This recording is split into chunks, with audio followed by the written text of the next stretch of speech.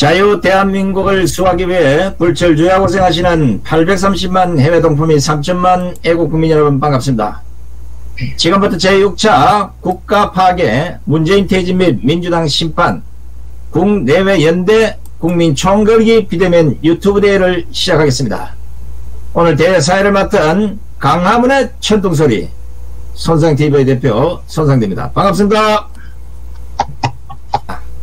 오늘 출연하는 멋지고 귀하신 연사분들이 열정을 다해서 최단 문재인 정권의 실정과 민주당의 폭거에 대해서 규탄과 비판을 쏟아낼 것입니다. 여러분들의 아낌없는 박수와 응원을 부탁드리겠습니다. 특히 이 국민대회는 기술을 결정하신 신백군 방송 주관으로 우파 유튜브가 이원 생방송으로 전 세계로 송출되고 있음을 알려드립니다. 여러분들의 적극적인 응원과 여러분들의 함성을 보내주시면 대단히 고맙겠습니다. 먼저 이 행사를 준비해 오신 노재성 총괄위원장님의 인사부터 들어보겠습니다. 감사합니다. 아, 체코의 그 프라하에 가보신 분은 아주 인상적인 장면을 기억하실 것입니다. 저 1968년 어, 공산 소련과 어, 소련의 위성국이던 동구라파 연합 공산군이 체코를 무력 침공하였을 당시에 분신 자살로 무력에 항거한 두 대학생 팔라흐와 짜이츠 청년을 추모하는 십자가 표지가 거기에 아직도 그 콘크리트 바닥에 철 십자가로 새겨져 있습니다. 프라하 중심지 파칠라프 광장에 있는 이 추모 십자가에는 자유와 정의를 위해 몸을 불태워 한거한 두 청년을 추모하는 전 세계인의 발길이 반세기를 넘어 오늘도 그치지 않고 있는 것을 우리가 목도할 수 있습니다. 여기 오늘날 우리 대한민국 국민들이 주목해야 할 중대한 그런 깨달음이 있습니다. 그것은 바로 당시 두 청년이 분신 자살한 주된 이유가 물론 공산 러시아 소련 그 위성국들의 침략에도 있지만은 그러나 그에 앞서서 체코 국민들이 체코의 국민들이 공산당의 침략과 포갑에 대해서 분노하고 한거하지 않는 비굴함을 오히려 분노해서 고발하고 죽었다고 하는 사실입니다. 오늘 우리 대한민국은 문재인이라고 하는 5천년 역사에서도 볼 수 없는 무법, 불법, 좌파, 포갑 독재자가 헌법도 법률도 무소 불위로 유린하고 국민을 속이며 나라 경제를 파탄내면 물론이고 북한 김정은에게 굴종하여 국방과 안보 외교를 파탄으로 몰고 가고 있고 부정선거를 자행하고 있건만은 우리 대한민국의 다수 국민들이 이것을 사실상 방관하고 있으니 참으로 참담하고 암담한 우리의 모습이 아닐 수 없다고 생각이 됩니다. 불의를 보고도 분노하지 않는 국민들에게는 굴종과 파멸이 앞에 놓여 있을 뿐이라는 것을 우리는 일제 35년의 그 신탈 속에서 역사에서 알 수가 있습니다. 체코 프라하의 국민들은 소련 공산당의 무력 침공에 한가지 한거하여서 결국은 자유를 회복하는 길을 열었습니다만은 그러나 그들은 용기가 부족하였고 두 청년이 분신 자살로 한가하는 그런 참상이 일어났던 것입니다. 오늘날 북한 2200여만 동포들은 한 번 잃어버린 자유를 회복할 반항도 못하는 처참한 처지에 놓여 있지 않습니까? 우리 자유 대한민국 국민들이 그나마 아직 자유의 숨통이 완전히 끊어지지 않고 있는 바로 이 시간에 문재인과 민주당 반 자유민주주의 세력의 한거에서 분노하고 일어나서 저들을 척결하지 못한다면 결국에는 북한 인민들과 같은 처참한 자유를 잃어버린 철통 감시 아래 꼼짝 못하는 노예 신세가 될 수도 있음을 잊지 말아야 한다고 생각이 됩니다. 오늘 우리는 비록 광장에 나가서 집회를 할 수 없는 코로나 방역 체제 아래 묶여 있지만은 온라인 구국 총걸기 대회를 통해서나마 온 우리 전 세계 우리 동포들에게 한거와 분노를 호소하고자 하는 것입니다. 국내외 8,300여 명 대한민국 국민들에게 호소합니다. 반역 문재인과 민주당 정권에 한거합시다. 분노하고 총 걸기 합시다. 자유민주주의 대한민국을 기억고 회복합시다. 반역 세력을 몰아냅시다. 자유와 행복을 더 이상 상실하고 종살이가 되기 전에 우리는 일어나야 한다고 생각합니다. 우리 오늘 참석하신 저 국내외의 애국 열사님들 어, 전 국민 각 대각선과 분노를 호소하면서 어, 대언하여 말씀드립니다. 감사합니다. 네, 고맙습니다. 어, 해군 대위로서 약간 27세 때 그러니까 1980년 12월 칠흑과 같은 겨울바다에서 북한 공작은 6명이 탄 무장 간첩을 한포사격 척발에 격침을 시킨 우리 해군의 신화적 전투의 주인공이자 귀한 모든 부대를 최우수 부대로 만들고 후배들이 가장 닮고 싶어하는 전설적 리더십의 당사자로 바로 4년 전 국회에 전시됐던 박근혜 대통령 누드화를 유일하게 떼어 던진 행동을 보이신 우리 정의를 구현한 그리고 국민들에게 자부심과 용기를 북돋은 주인공. 자 바로 신동부 해국 제동님의 첫 연설부터 시작하겠습니다.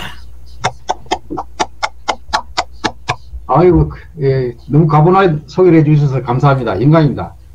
예, 안녕하십니까. 예비역 해군준장 심동구입니다. 군기강이 예, 총체적으로 붕괴되는 모습입니다. 최근 일부 부사관들이 자기들의 최고 직급 상관인 육군 참모총장의 예, 발언을 문제 삼아 국가인권위원회에 위원회에 진정하는 일이 일어났습니다. 옛날 같으면 상상도 하지 못할 정도로 군기가 송두리째 무너지는 참담한 상황에 처한 것입니다. 문재인 정권은 집권 내내 거짓 선동과 사회주의 포퓰리즘으로 국민의 근로욕과 생업 기반을 허물어 버리더니 이젠 국가의 마지막 보루인 군대마저 자경화와 포퓰리즘으로 무너뜨리고 있는 것입니다. 대통령 문재인이 북한 김정은의 한미연합훈련 중단 요구에 대해 지난 1월 18일 신년 기자회견에서 필요하면 남북 군사 공동위원회를 통해 북한과 협의할 수 있습니다. 이따위 굴욕적 발언에 하다받듯이 주저까지 없앤 군마저 거짓 평화쇼에 세뇌되고 좌파 포퓰리즘에 오염되어 엄전하는 적의 핵 위협 앞에서 자중질환을 부리는 한심한 모습을 보이고 있는 것입니다. 장군 이래 초유의 육군 최고 지휘관에 대한 하극상 사건으로 정점에 이른 군기 붕괴 사태는 남영신 육군 참모총장이 장교들의 반말 지시가 당연하다는 취지로 발언했다면서 육군 주임원사 일부가 지난해 12월 24일 국가인권위원회에 진정을 내면서 불거졌습니다. 이들은 작년 12월 21일 육군 대대급 이상 부대의 주임원사들과의 사상회에서 남 총장이 나이가 어려도 반말로 지시하는 장교들이 있는데 당연하다고 생각해야 한다. 존칭을 써주면 오히려 감사하다고 생각해야 한다는 취지로 말해 자기들의 인격권을 침해당했다고 주장한 것으로 알려졌습니다. 부사관들이 참모총장을 비롯한 지휘관들과 장교들을 진정으로 존경하고 부하로서 자부심을 가졌다면 절대 일어날 수 없는 현상이 일어, 뭐 끊임없이 일어나다 못해 이젠 참모총장까지 외부기관에 진정하는 사태를 초래한 것입니다. 권옥술은 육군은 물론이고 급기야 서욱 국방부 장관이 나서 장교 부사관 관계를 재정립하라고 지시한 것으로 알려졌습니다만 부사관들이 장교를 집단 성추행하거나 명령에 불복종하는 등 군기강 사건으로 보는 시각과 군의 척추인 부상안에 대한 존중과 예우 문제로 보는 시각이 변경하고 개인차가 있을 수도 있으나 문제의 본질은 부사관들이 장교들에 대한 경외심을 갖지 못한 데서 비롯된 현상은 분명해 보입니다. 장교와 부사관은 이 체계와 계급상 상하 관계에 있지만 군의 양대 중추이면서 천부적으로 동등한 존엄성을 갖습니다. 당연히 서로 존중하고 존중받아야 합니다. 그러나 전투의 성패와 부하의 생명을 책임지는 지휘관과 장교들의 도덕적 책무인 노블레스 오블레즈는 동서공업을 통틀어 리더십의 관건입니다. 부하들의 자부심과 자발적 복종을 이끌어내려면 장교들은 배우받기보다 오히려 더 솔선수범하고 헌신해야 합니다. 자기보다 나이 많은 의사관들을 포함한 모든 부하들을 위해 희생하여 그들의 명예와 행복을 지켜주어야 합니다. 전략적 사고로 효율과 효과를 극대하여 헛고생시키지 않고 보람과 영예를 안겨주어야 합니다. 오늘 일전에 있다는 생각으로 언제라도 싸워 이길 수 있는 강한 부대를 만들어 부하들에게 승리를 승리를 선물로 줄 수 있어야 합니다. 무엇보다 부사관 스스로 리더가 되어 자유의지로 임무 앞에 저절로 움직일 수 있도록 해야 합니다. 저는 바다에서 나라를 지키기 위해 해군에서 36년간 생활하였는데 특히 774일 동안 1급함 함장으로 재임하면서 부하들 스스로 리더가 되도록 부상한 중심의 업무를 활성화하는 등 임무형 지휘관리로 지휘한 당시 충남함은 1997년도 해군 작전사령부 최우수 1급함으로 선발되었고 사상 최초로 또 유일하게 해군의 벤치마크십 기준함으로 선정되어 1997년 5월 22일 해상지휘관 회의 시 선포되었습니다. 1997년 5월 15일 해군 작전사령관에게 보고한 부사관 지휘 및 관리 능력 향상 방안은 지침화되어서 7월 20일 모든 예하 부대에 시달되어 학대 시행되었고 1998년 1월 23일 해군 전부대를 대상으로 감찰 헌병 기무부대 합동으로 실시한 안면 감찰 결과 유일하게 무타 및 가혹 행위에 없는 부대로 확인되어 의명보관 충남함 병관리 실태 분석 보고는 대륙상 전 부대에 전파되기도 하였습니다. 육군 참모총장이 부사관단에 의해 국가인권위에 진정될 정도로 심각한 군기관 문제 해결에 참고할 사례로 1998년 2월 22일 함장으로서 마지막 출동 중 당시 소속 장교들에게 남긴 지메모 장교 근무수칙을 소개합니다. 참고로 본 장교 근무수칙은 한동안 해군 참모총장 직무책상의 유리판 밑과 장교들의 해군 장교들의 근무수칙에 철입되어 장교들의 의식 핵심을 개인하는 자생적 자생적 지침이 되기도 하였습니다. 장교 근무수칙 17강입니다. 소리 없는 1. 소리 없는 전쟁의 한가운데 있는 대한민국 해군 장교에게 안보의 3대약, 즉 무지, 나약, 테마는 용납되지 않는다. 2. 장교들은 오늘을 격려하고 내일을 창조하는 집단이다. 3. 정직한 처신과 정확한 업무 처리는 신뢰 쌓기의 첫걸음이다. 4. 나의 존재 가치는 임무 완수에 있음을 맹심하고 자존을 걸고 온 힘을 다해 자기 자신을 던져라. 5. 매사에 정성을 쏟지 않으면 결과는 무의미하고 감동도 없다. 6. 항상 새로운 시각으로 일하지 않으면 미래를 열 수 없다. 7. 위국 헌신 군인 본부님으로 장교의 업무 시간은 무제한적이다. 8. 진정성과 자기 희생을 바탕으로 다양한 부하들의 신뢰를 획득하지 못하면 진정한 리더십은 발휘될 수 없다. 9. 전략적 사고로 조직의 효율과 효과를 극대하여 부하들에게 흑고생을 시키지 말라. 10. 충직한 부하들은 진실된 마음으로 부하를 지키는 능력과 신의를 겸비한 상관을 존경한다. 11. 진정한 상관은 충직한 마음으로 임무에 충실하고 줄기차게 다시 일어서는 용기를 가진 부하를 아낀다. 12. 하늘이 내려주는 사람이라도 인하에 역행하면 무용지물에 불과하다. 13. 밝고 스마트한 용의와 예의 바른 태도는 장교의 기본 모습이다. 14. 헛된 욕심으로 남의 잘됨을 시기, 음해, 이가 나는 소인배의 거짓된 은행은 영원한 추락의 지름길이다. 15. 창의력, 협력, 네트워크, 국제관계은 기본적인 생존 요건이다. 16. 위대함은 행복, 행복이 아니라 실현에서 온을 알고 끊임없이 새롭게 도전하라. 10체 가장 이상적인 부대는 솔련처럼 임무 앞에 저절로 움직인다. 출처 해군 리더십 논총 제2호 김동무 제독의 필성 리더십 해군 1화 제8집 포퓰리즘에 무리진 군기는 자부심과 승리가 해법입니다. 경청해 주셔서 감사합니다. 필석! 네, 수고하셨습니다.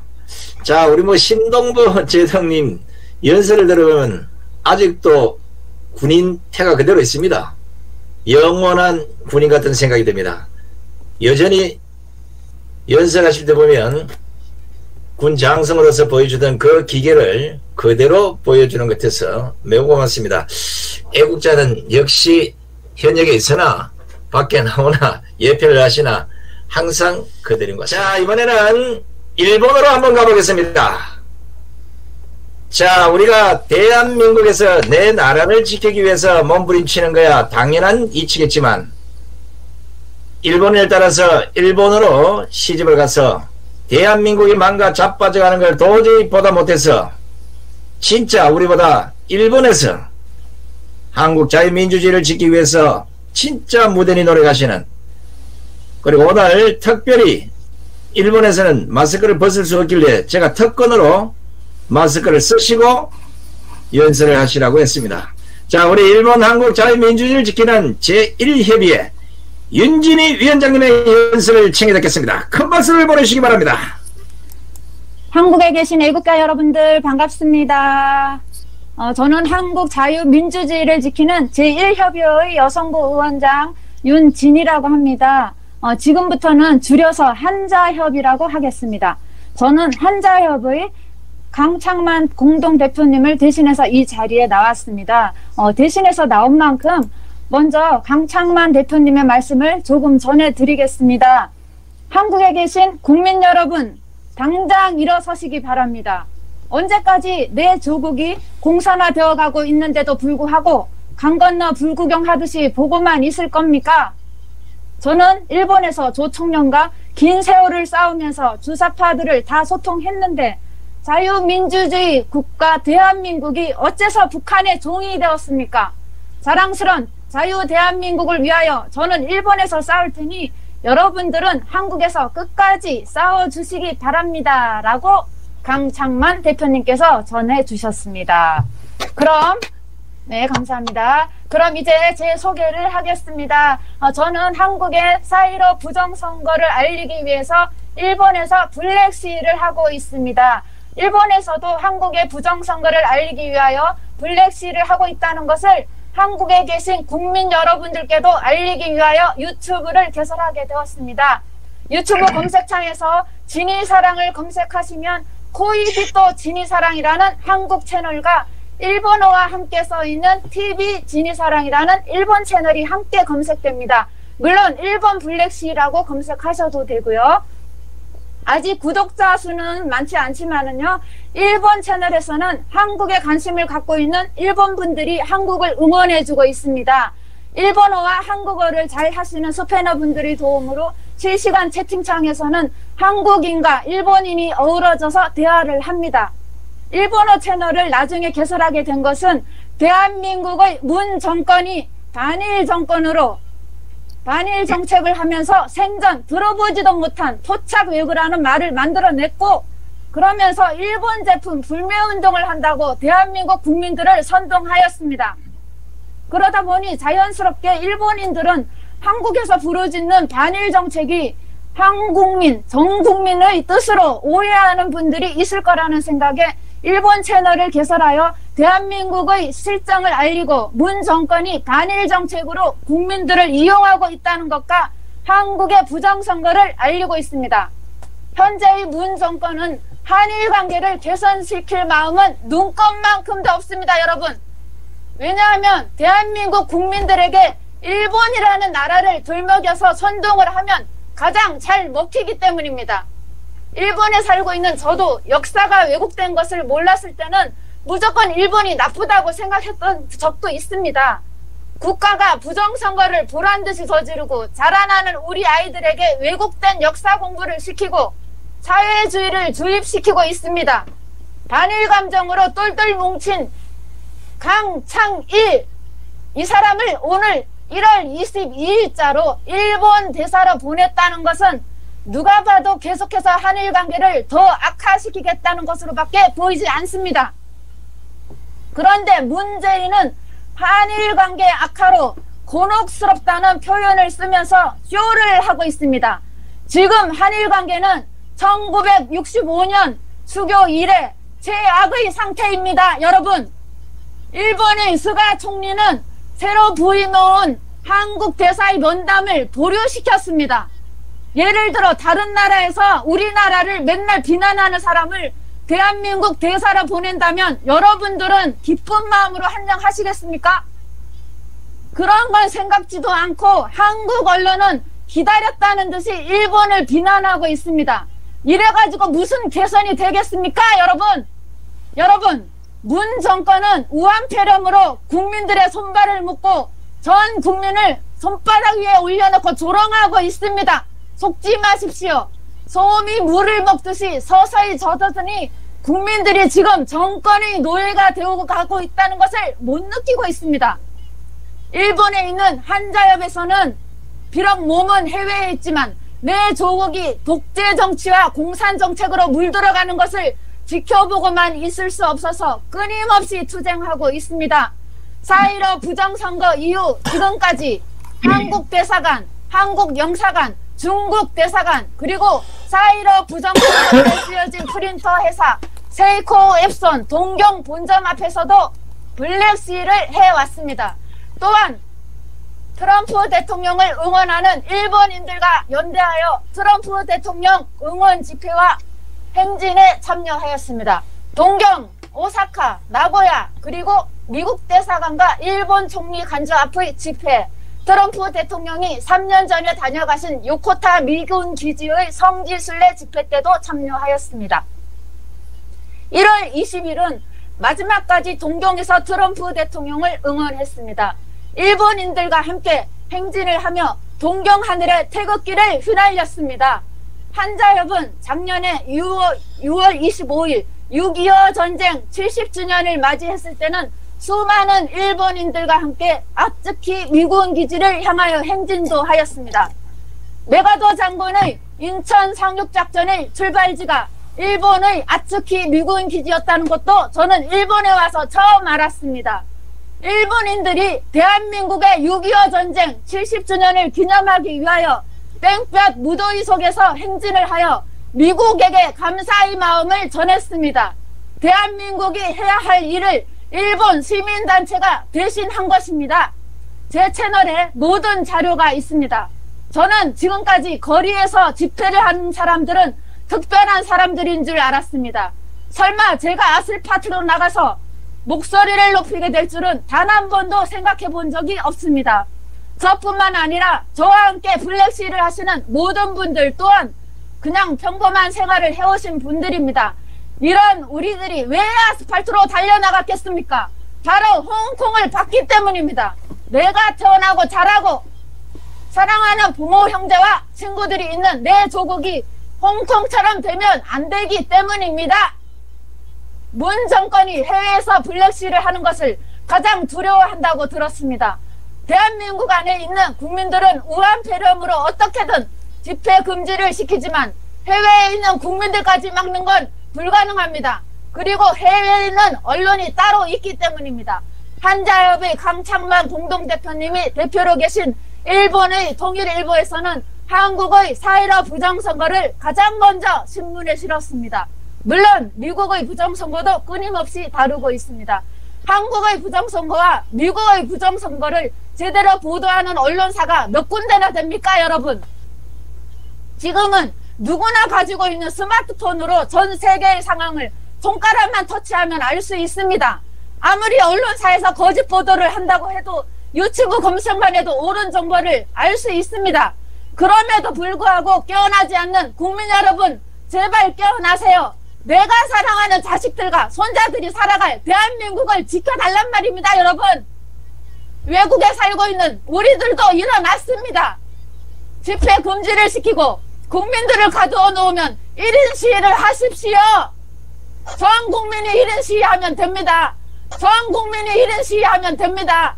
전 국민이 1인 시위해도 그래도 못 바꾸겠습니까?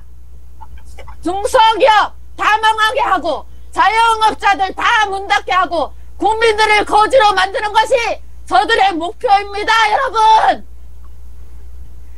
내 자식 교복밥 교복값을 주니까 행복하십니까? 문재인한테 절이라도 하고 싶은가요? 교복값 받았다고 감사하지 마시고 내 자식 교복, 교복값은 내 스스로 벌어서 살 수 있어야 하는 겁니다.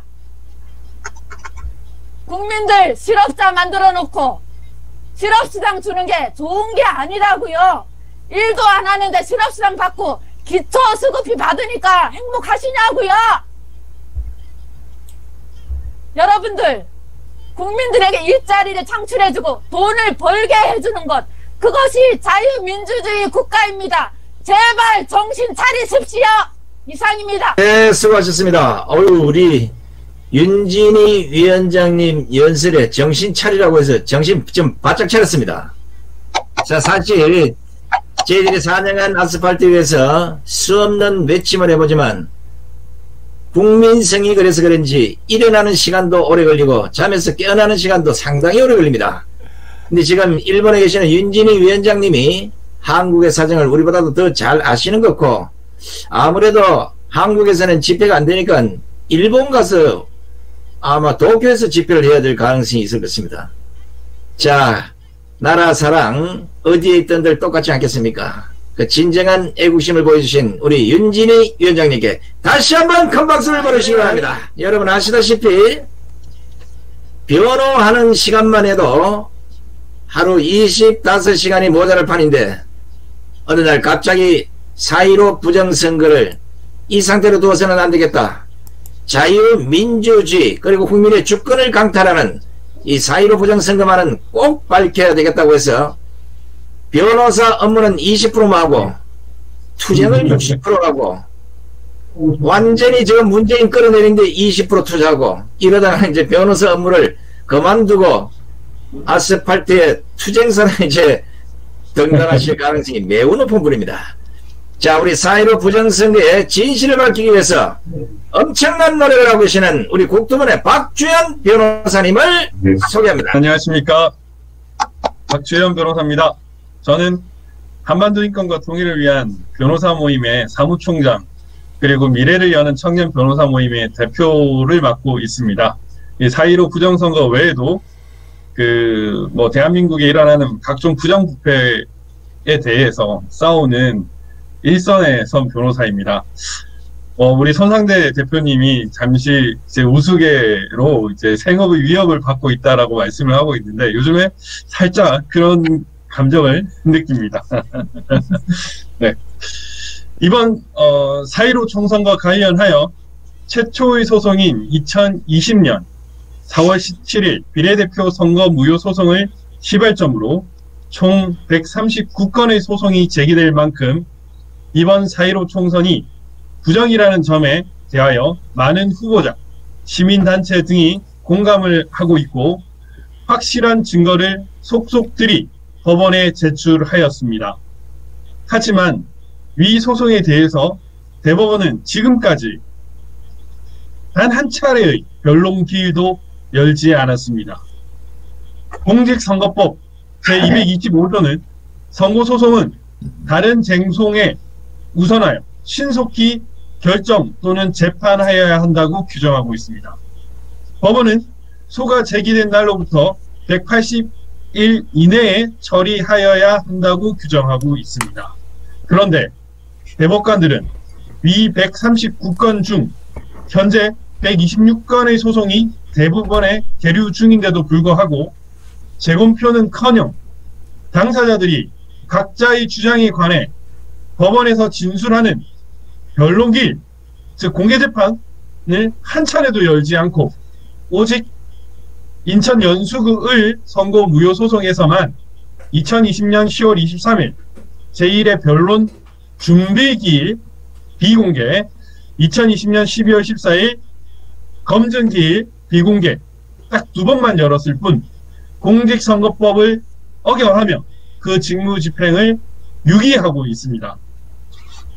또한 피고인 중앙선거관리위원회, 지역선거관리위원회는 이번 4.15 총선에서 써, 써인 서버, 전자개 표기, 사전투표 운영 장비, 투표함, 노트북 등을 보관하고 있습니다.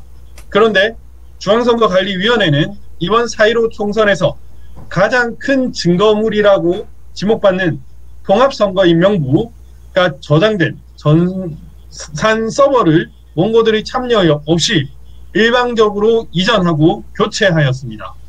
점검 사업이라는 명목으로 전자개표기 내의 노트북 자료를 전부 삭제하는 등 증거를 인멸하였습니다.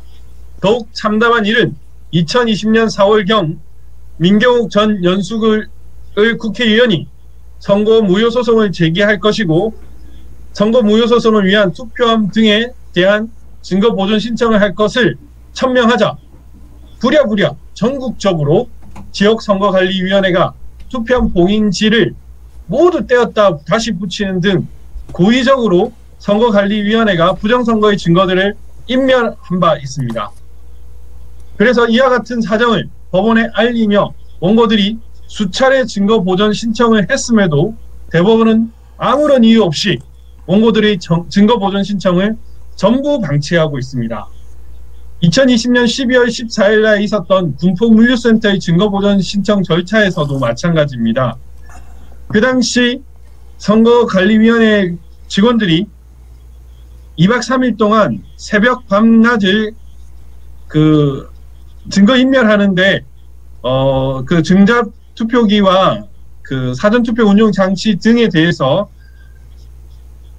조작을 한 것이 아니냐라고 우려가 돼서 어, CCTV 등에 대해서 증거 보존 신청을 했음에도 불구하고 보존 기간이 15일 혹은 한 달이 지난 지금 시점까지도 아직까지도 증거 보존 신청을 인용 인용을 하지도 않고 있습니다. 아무런 답변도 하고 있지 않습니다. 이것이 지금 대법관들이 하는 것입니다. 대법관들이 재판을 하지 않는 부작위 행위로 인하여 중앙선거관리위원회 및 각급 선거관리위원회는 그 시간 동안 수많은 증거를 인멸하였고 증거 인멸 행위를 소송에서 자백하기까지 하였음에도 대법관들은 변론기일 즉 공개 재판을 한 차례도 열지 않고 증거 보존 신청에 대해서도 무응답으로 일관하여 실체적 진실을 은폐하는 것에 가담하고 있습니다. 대법원에서 벌어지는 이 같은 현상은 대법관들의 인적 구성과도 관계 있습니다. 문재인 정부 들어 특정 이념 성향 단체 출신 대법관이 늘어나고 있습니다. 지금 민경우 의원의 주심인 김상한 대법관도 이런 특정 소속인 것으로 알고 있습니다. 이 단체들은 문재인 정부와 이념적 동지의 관계를 가지고 있습니다. 따라서 대법원이 과도하게 특정 이념에 경도되어 있다는 세간의 걱정도 커지고 있습니다. 법관이 현재 권력과 동일한 방향을 지향한다면 현재 권력에 굴복하여 그 눈치를 보고 있다면 삼권 분립 원칙은 완전히 무너졌다고 볼 수 있습니다. 선거에 관한 범죄 혐의, 선거가 외부의 개혁, 개입 없이 적법하게 이루어졌는지에 대하여 확인하는 일은 민주사회의 근간을 이루는 중차대한 사안입니다. 그럼에도 불구하고 대법관들의 직무유기 행위는 단순한 부작위가 아닌 실체 증거 인멸이라는 자기 범죄에 가담하는 정도에까지 이르렀다 볼 것입니다. 그 결과에 대해서도 마땅히 대법 관에게 재책을 물어야 할 것입니다. 이에 국투본 등 시민단체와 대한민국을 사랑하는, 걱정하는 대한민국 국민들은 이번 총선에서 투표 조작, 개표 조작, 증거 인멸로 인한 국민 주권주의와 대민주주의의 제도의 근간을 무너뜨린 것에 대해 대법관들을 직무 유기로서 동조하는 대법관 전원을 상대로 고발하였습니다. 이 고발장은 제 유튜브 박주현 변호사 TV, 페이스북에도 어, 고발장 파일을 공유를 하였습니다. 참고해 주시기 바랍니다. 전례 없이 대법관 전원이 이 고발당하는 사태가 발생하였습니다. 이제 공수처가 출범하였습니다. 대법관들이 공수처의 수사 대상이 되어 수사를 받고 대법관들이 모두 공백 상태가 되거나 헌법관 헌법과 법률의 중대한 위반을 한 혐의로 인하여 탄핵을 당하는 사태가 발생할 수 있습니다. 모쪼록 대법원장과 대법관들은 대한민국에서 벌어진 끔찍한 범죄 행위, 당군 일의 최악의 범죄 행위인 사이로 부정선거에 대해서 이 범죄 행위가 국가 권력에 의해 아 범죄 행위에 의한 부정선거를 무효로 무효하고 조속히 모든 선거를 무효 선언해 주시길 바랍니다. 우리 국민들은 이들을 이들의 직무유기를 끊임없이 고발하여 대한민국 최악의 범죄 행위가 국가 권력에 의해 사법부 정의의 최후의 보루인 사법부에 의해 뭉개지는 일이 없도록 해주시길 바랍니다. 제 홈페이지에 있는 고발장 양식을 참조하셔서 고발인을 추가하시고 쓰고 싶은 말씀을 좀 더 첨언을 하셔서 제출하시면 될 것입니다. 자유와 진실 그리고 정의가 대한민국의 기반이 되어야 합니다. 우리의 역사가 자유와 정의, 진실의 역사가 될 수 있도록 우리 다 함께 이 불의와 불법에 대해서 싸웁시다. 다시 한번 대한민국을 일으켜 세워야 합니다. 감사합니다. 네, 수고하셨습니다. 아유, 우리 또 박주현 변호사님 바쁘신데 매번 이제 참석해 대단히 고맙고요. 제가 보기에는 변호사 업무보다는 나라 구하는 일이 더 우선이 돼야 되지 않겠습니까?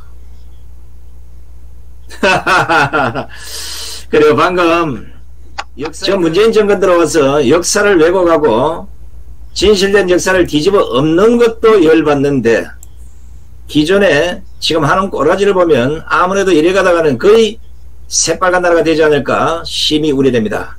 전 세계를 통틀어서 100%딱 맞아떨어지는 그런 역사는 없습니다.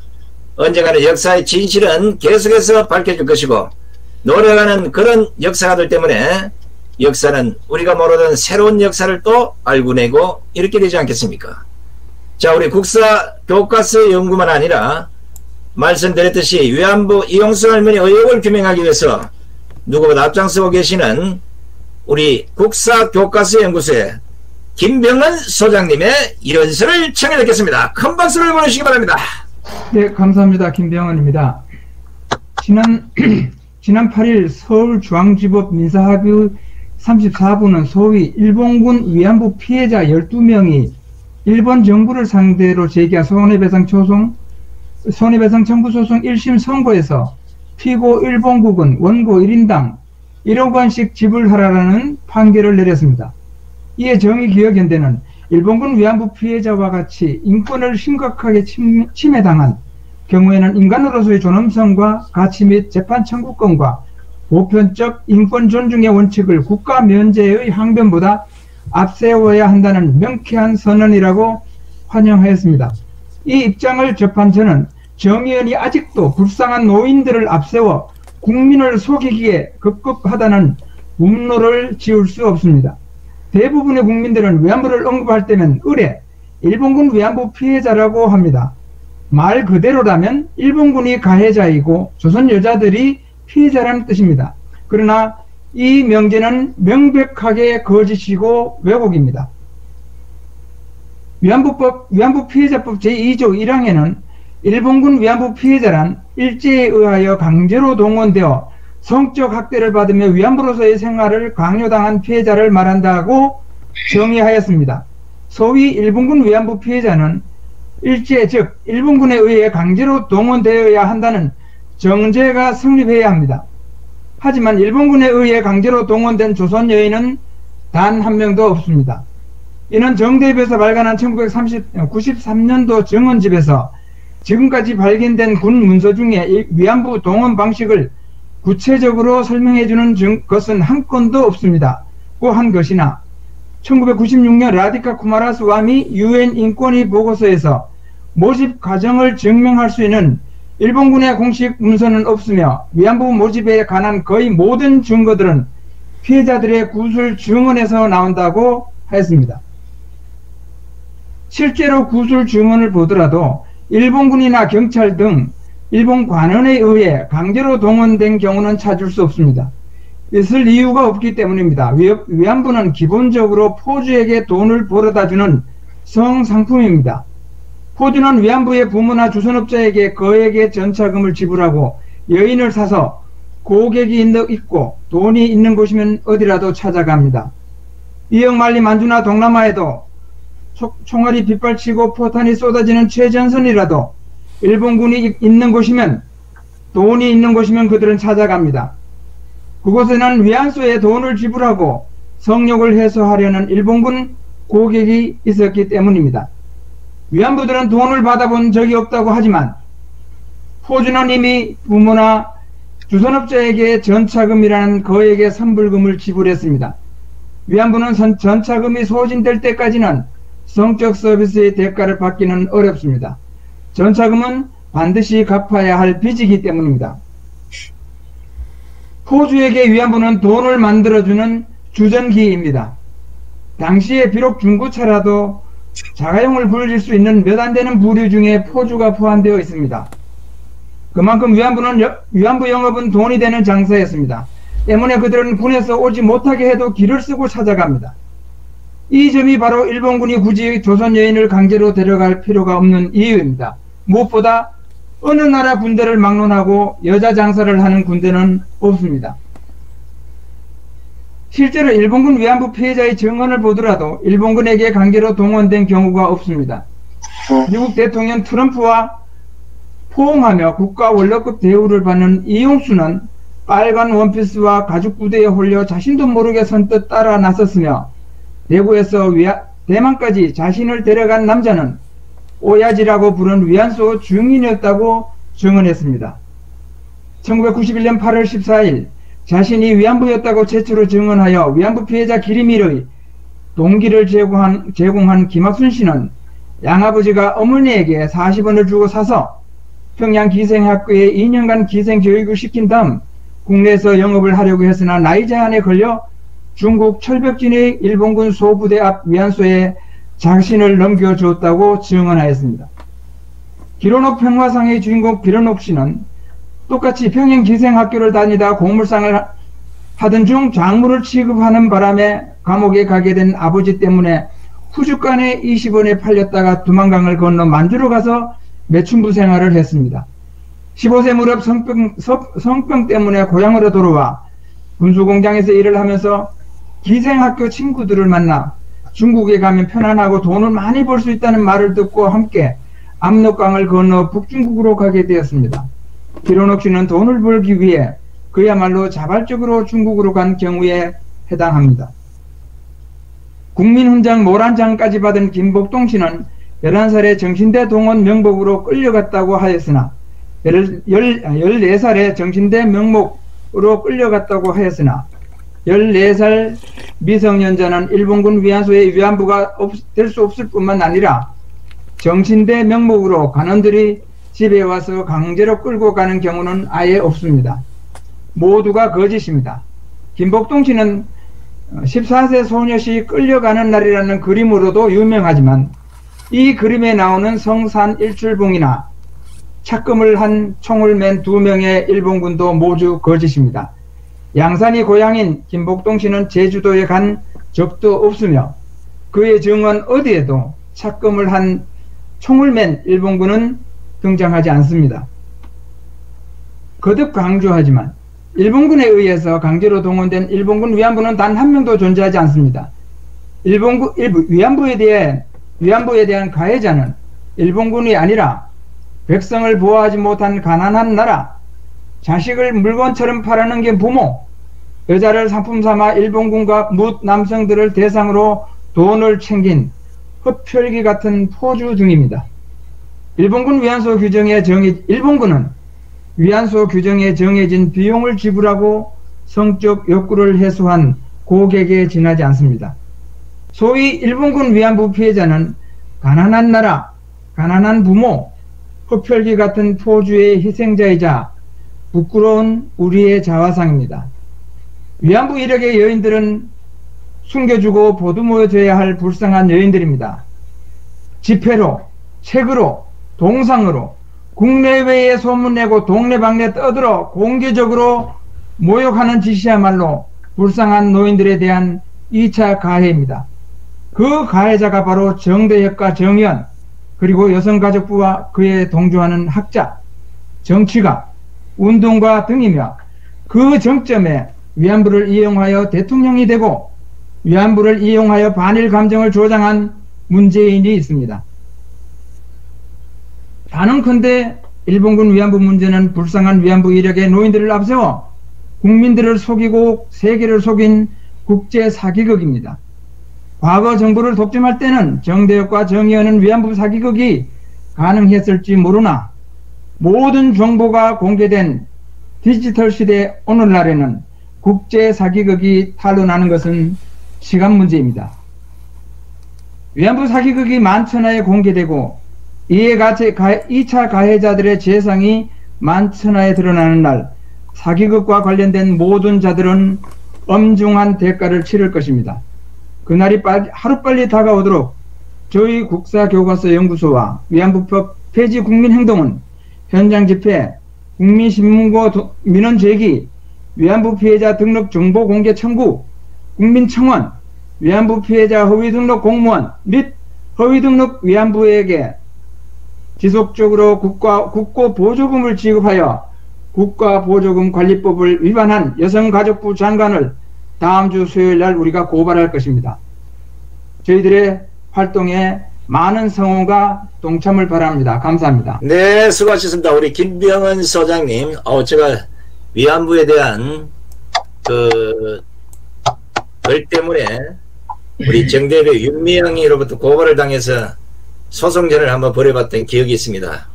그 당시만 해도 국가가 완전히 정대협을 무슨 성역처럼 생각을 해서 어떤 주장도 용납하지 않았던 시대가 불과 얼마 전 같은데 이제 세상에 이런 진실들이 다 드러나리라고 봅니다. 우리가 김병헌 소장님 혼자만의 일이 아닌 우리 국민 전체가 함께 해야 될 역사 바로 서기라 생각하시고 많이 동참해 주시기 바랍니다. 자, 수고하신 김병헌 소장님께 다시 한번 큰 박수. 역사를 보면 남자보다는 여성이 더 강하다는 것. 여성보다는 엄마가 더 강하다는 건 이미 다 입증이 되어 있습니다. 제가 아스팔트에서 아무리 큰 소리를 치고 뭘 해도 항상 투쟁 앞에 보면 여성들이 앞에 있었습니다.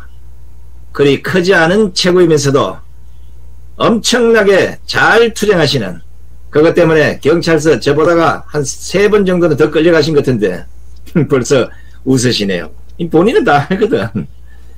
자, 우리 아스팔트에서 남자 못지않는 투쟁력으로 문재인 정권과 열심히 싸우고 계시는 우리 전학연 및 국토본 공동대표이신 김수진 대표님의 연설을 청해 듣겠습니다. 큰 박수를 보내주시기 바랍니다. 네, 반갑습니다. 전국 학부모단체연합 국민희망 교육연대 상임대표, 또 현재는 4.15 부정선거 국민투쟁본부 공동대표로 열심히 부정선거를 알리고 있는 김수진입니다. 참 저희가 토요일 날 집회할 때마다 우리 아홉 명 인원을 지키게 하기 위해서 40명의 경찰들이 나와서 저희를 가로막고 있습니다. 그걸 보면서 이 아홉 명 감염, 감염병 기준을 누가 잡은 것인지 참 말도 안 된다는 생각을 하고 있습니다. 이렇게 집합금지 명령의 의, 명령 때문에 또 저희가 새로운 이런 또 환경 속에서 이런 시스템으로 의견을 나눌 수 있는 이런 장소를 허락해 주셔서 또 정말 감사를 드립니다. 저는 사실 탄핵 전까지는 여당, 야당이 뭔지, 좌파, 우파가 뭔지도 모르고 아이들 학교 현장에서 그 잘못된 동성애 인권 교육을 알리는 일에만 집중을 하고 학부모 단체 활동만 열심히 했습니다. 모두가 아시는 것처럼 동성애는 지금 너무나 만연되어 있는 상태고 우리가 영화에서 드라마에서 보는 것처럼 아름답고 또 지켜줘야 할 절대 로맨틱한 사랑이 아니거든요. 특히 남성 동성애자 게이들은 성관계를 할 때마다 항문이 찢어지는 항문 성교를 통해서 그 사이로 각종 질병과 성병에 노출되는 그런 형국이 있습니다.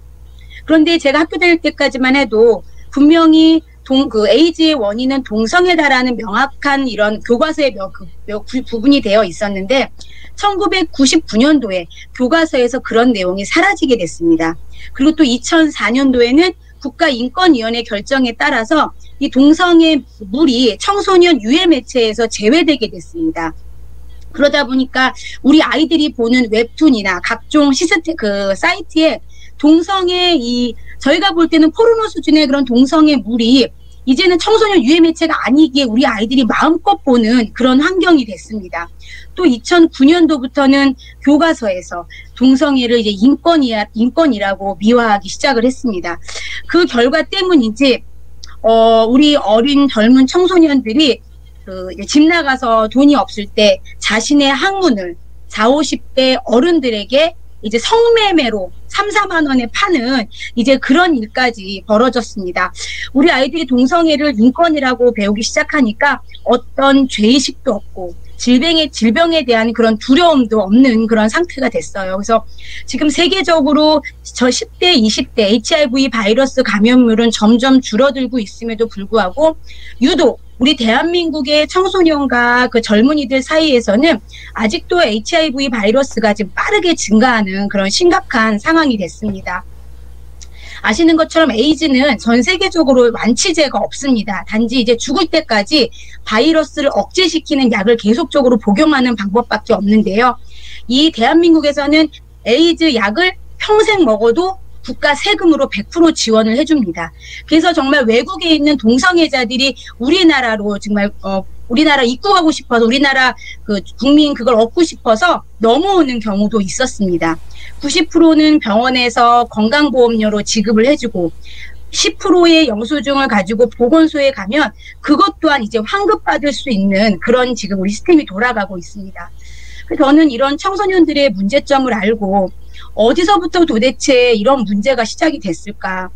정말 세계적으로 미국이나 영국이나 그런 보건복지부 사이트만 잠깐만 들어가 봐도 이 동성애가 사회적으로 보건적, 국가적으로, 개인적으로 너무나 굉장한 파괴력을 가지고 또 이게 사실은 정신병으로 분류가 됐었고 그게 동성애가 한 번 하면 끊을 수 없는 성 중독이라는 것을 전문가들도 단번에 알 수 있음에도 왜 우리 자녀들에게 이렇게 잘못된 동성애 인권 교육을 시키는 걸까 정말 이해할 수가 없었습니다.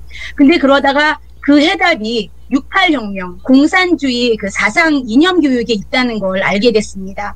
모든 걸 아시는 것처럼 모든 금지된 것을 금지하라. 모든 권위에 도전하라는 68혁명은 그 구소련과 동유럽이 무너지면서 우리나라 한국 좌파들이 새로운 출구점을 삼게 되었고 또 동성애 투정으로 투쟁으로 세력 결집에 성공한 유럽 좌파들을 추종하는 기회가 됐습니다. 그 결과 우리 우리 어린 자녀들을 성 정치와 성혁명에 그 전략적으로 이용하는 도구가 되어서 어린 자녀들을 부모와 가족으로 관계로부터 분리시키고 또는 우리 어린 아이들이 어렸을 때부터 급진적 성교육을 받아서 조기 성애화를 이루는 그런 교육이 이루어지고 있습니다. 그리하여 지금 인권을 가장 중요시하는 대한민국의 좌파 정당, 더불어민주당, 정의당 등이 급진적 성교육과 제더, 젠더 이데올로기를 제안하고 지금 우리 아이들 학교 현장에서 성교육, 페미니즘, 젠더, 나아가 편향된 정치 이념 교육까지 마구잡이로 쏟아내고 있는 것입니다. 저는 아시는 것처럼 다섯 아이를 양육하고 있습니다. 불과 몇 년 전까지만 해도 엄마로서 학교를 잘 보내는 것만이 부모의 역할을 잘 하는 거라고 믿었고 학교의 커리큘럼이나 교육 방법에 대해서 한 번도 의심하지 않았습니다.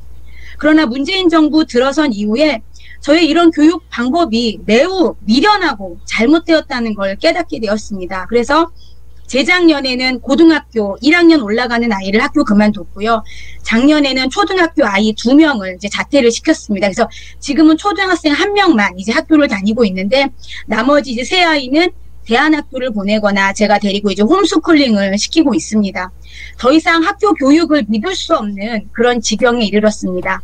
지금 이렇게 문재인 좌파 정부가 승승장구하면서 국민들을 개 돼지 취급하면서 우리 아까 일본에 계신 우리 진희 사랑님이 잘 말씀해 주셨어요.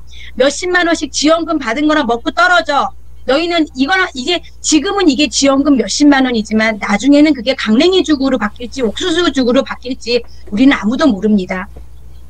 이렇게 우리 국민들을 떡 주무르듯이 주물를 수 있는 건 저도 전교도 전교조에게 배웠던 세대이고 이런 그 그때의 잘못된 교육이 국민들의 의식을 지금 전교조 교육에 가둬두는 이런 결과를 낳게 됐습니다. 제가 오늘 제목으로 삼았던 것이 교육을 지키어야 대한민국이 산다. 정 교육을 지키어야 대한민국이 산다. 정치를 바꿔야 대한민국이 산다. 저는 이렇게 굳게 믿고 있습니다. 지금 작년 12월에 서울시 교육청이 학생 인권 종합 계획을 발표했습니다. 학생인권 조례는 이미 만들어졌기 때문에 거기에 근거해서 3년 동안 우리 아이들을 이렇게 이제 계획 어, 교육하겠다는 정책을 발표하는 건데요. 저는 이, 종, 이 정, 교육청의 정부 계획안을 보면서 야, 우리 아이들을 정말 3년 동안 이렇게 또 세뇌를 시키고 작정을 하는구나라고 정말 깜짝 놀랐습니다. 첫 번째는 그 종합 계획 안에 성소수자 인권 교육이 강하게 다 들어가 있습니다. 이제는 성소수자, 동성, 성소수자는 국어 사전에도 없는 말을 수면 위로 이끌어내서 그 성, 동성애자들의 인권을 우리 아이들에게 전격적으로 교육을 시키겠다고 발표했습니다. 두 번째는 급진전 페미니즘과 젠더 이데올로기에 뿌리를 두고 있는 성인지 감수성 교육을 전격적으로 시키겠다고 합니다. 성인지 감수성은 정말 듣기에는 굉장히 달콤하고 또는 여성을 굉장히 무대하는 정책 같지만 사실 이런 정책으로 인해서 남녀 간에 지금 갈등이 조장되고 사회 분열을 이끌어내고 있습니다. 지금 문재인 정부 들어 들어서서 계속 사회가 분열되고 있어요. 남자, 여자, 가진 자, 못 가진 자, 노동자 이런 뭐 부르주아기 계급 이런 식으로 지금 문재인 정부가 계속 사회를 분열시키고 있는데 성인지 감수성 교육도 그 일환이라고 보시면 될 것 같습니다. 또 세 번째는 민주시민 교육이 그 종합인권계획안 안에 들어 있습니다.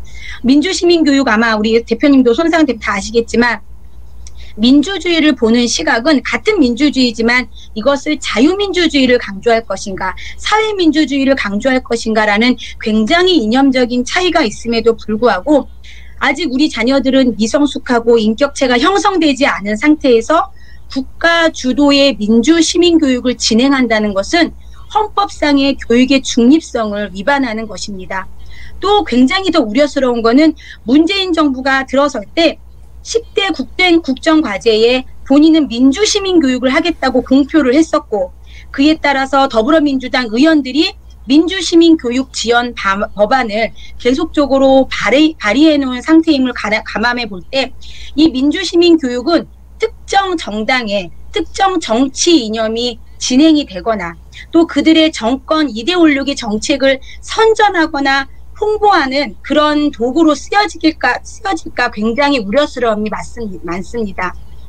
네 번째는 선교 교육에 또 문제가 들어가 있습니다. 이번에 공직선거법 개정에 따라서 선거 연령이 18세로 내려가므로 이제는 학교마다 선거 교육을 시킬 수밖에 없는 그런 상황이 됐습니다. 그런데 이걸 누가 시키냐? 교사들이 시킵니다.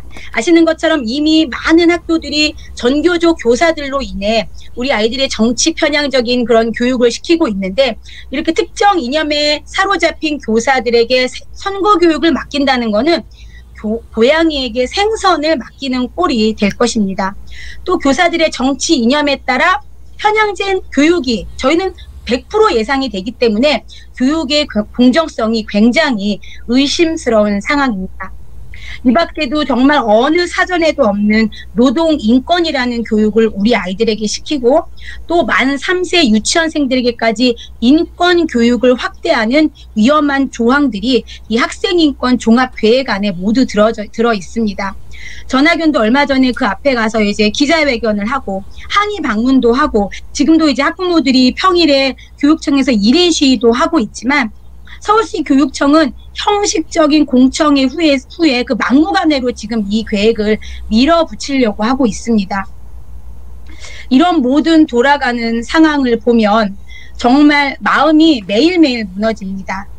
어, 이제 미국 선거 끝날 이후에 이게 휴유증이 아직도 가시지 않아서 정말 우리 대한민국까지 자유민주주의를 지키지 못하고 이대로 무너지는 건 아닌가 하는 그런 불안함도 있습니다. 또 이런 코로나 증상도 없고 확진자만 계속적으로 양상해내는 이 코비드19를 통해서 국민들을 통제하고 억압하는 자연스러운 상황들이 계속 만들어지면서 국민들도 어- 어쩔 수 없이 그 정부 정책의 방역이라는 이름으로 순응하는 모습을 보고 이제 우리가 정말 사회주의 체제로 한 걸음씩 다가가고 있구나 그런 생각이 들 때도 있습니다. 그러나 저는 음, 이 대한민국의 정말 희망의 끈을 놓지 않고 싶습니다. 대한민국이 꼭 지켜질 수 있다고 저는 믿고 싶습니다. 먼저 지금 하- 제가 열심히 하고 있는 이 부정선거 밝히는 일에 제가 최선을 다하겠습니다. 부정선거를 밝히는 일만이 법치주의를 세우고 빼앗긴 주권을 회복하는 일입니다. 그리고 또 교육감 선거에서 이제 내년이면 교육감 선거가 돌아오는데요. 교육감을 바꿔야 교육이 바로 섭니다. 이미 전교조 좌파들은 2, 30년 동안 이 좌파 교육을 위해 자기네 목숨까지 내던지며 이 교육을 준비해 왔는데 사실 너무나 안타깝게 저희는 이제 시작입니다. 그럼에도 불구하고 지금부터 시작해서 앞으로 2, 30년이 걸리더라도 아니 그 이상의 시간과 노력과 우리의 힘이 필요할지라도 저는 그 일을 이제는 해야 된다고 생각합니다. 일제 치하의 고통 속에서도 우리 대한민국은 희망을 꿈꿨습니다. 그리고 대한독립 만세를 외쳤던 강인한 민족입니다. 6.25, 6.25 전쟁 그 속에서도 포기하지 않고 이 대한민국을 세계 경제 강국으로 세웠던 든든한 우리 할아버지, 아버지 세대가 계셨습니다. 이제는 그분들이 계셨던 대한민국을 우리가 지켜내야 될 때라고 생각합니다. 값비싼 피 흘림의 대가가 필요하다면 그 대가를 마땅히 우리가 치루어야 하고 우리 다음 세대, 우리 어린 자녀들, 우리 손자, 손녀가 살아갈 이 대한민국을 그렇게 우리가 지켜내야 할 것입니다. 이곳에 계시는 우리 많은 애국자 여러분들과 또 이 방송을 보시는 세계에서 이 방송을 보시는 대한민국을 사랑하시는 많은 분들이 함께 싸워주신다면 저는 가능할 것 같습니다. 그리고 절대 어떤 일이 있어도 우리 목에 칼이 들어오고 우리가 다 경찰서에 체포되고 때로는 사형을 당하고 순교를 당할지라도 우리가 포기하지만 않는다면 대한민국은 분명히 자유민주주의를 지켜내는 그런 위대한 나라로 남게 될 것이라 믿습니다.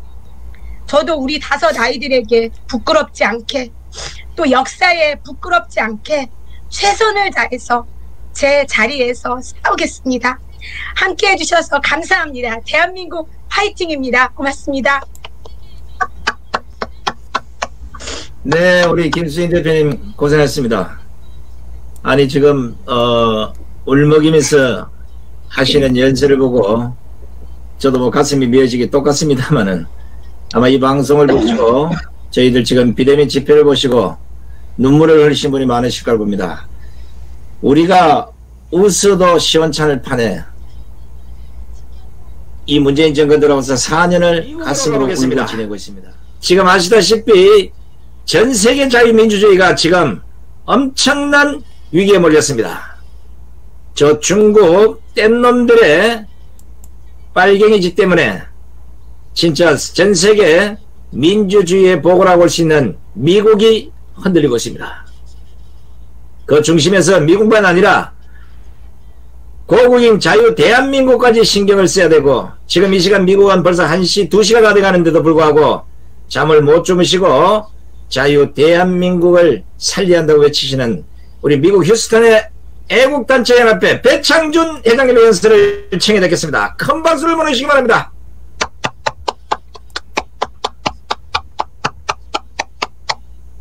안녕하십니까.